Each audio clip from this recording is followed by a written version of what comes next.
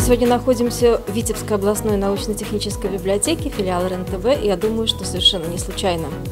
Потому что э, образование – это один из кирпичиков устойчивого развития, к которому мы все движемся, и очень хочется думать, что наша библиотека прикладывает к этому усилия не зря.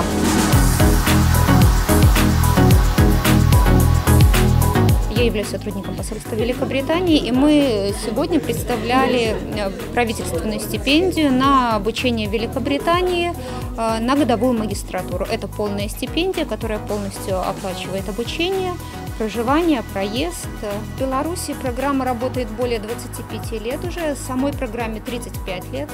Э, более 200 человек уже прошло через эту программу из Беларуси. В этом году мы отправили 8 кандидатов. Э, стипендия предоставляется э, всем специалистам, у которых есть опыт работы как минимум 2 года, специалистам в середине карьерного роста, без ограничения по возрасту, тем, кто хотел бы получить образование в Великобритании по интересующим их э, специальностям. Нет ограничений ни по специальностям, ни по выбору вузов. Какие еще мероприятия проходят в библиотеке? Одно из таких нашумевших мероприятий, которое проходит у нас уже в течение двух лет, это проект «Наука вне себя».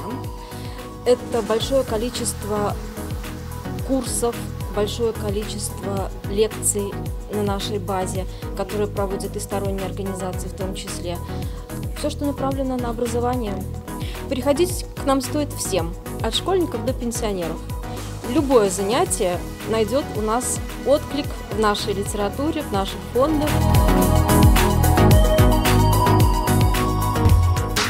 Следите за новостями на портале городвитебск.бай.